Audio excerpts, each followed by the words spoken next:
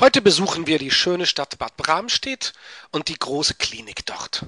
Unter dem Motto Leben in Bewegung arbeitet die Klinik mit vielen guten Mitarbeiterinnen und Mitarbeitern. Aber in die Tarifverhandlungen, da kommt keine Bewegung. Unsere Arbeit ist mehr wert, weil wir qualifizierte und engagierte Mitarbeiter sind.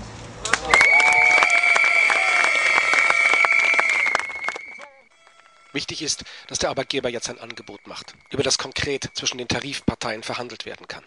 Dass um Arbeitsplatzsicherheit und die Frage von verbindlichen und guten Tarifstrukturen und Löhnen geht.